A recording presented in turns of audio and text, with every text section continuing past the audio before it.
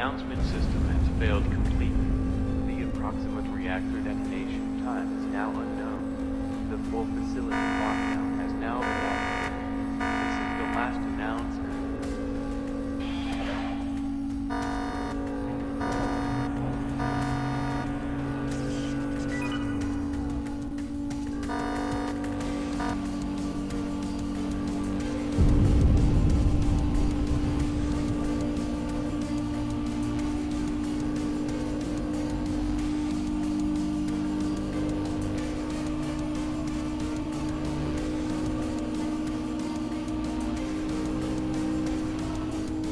Thank you.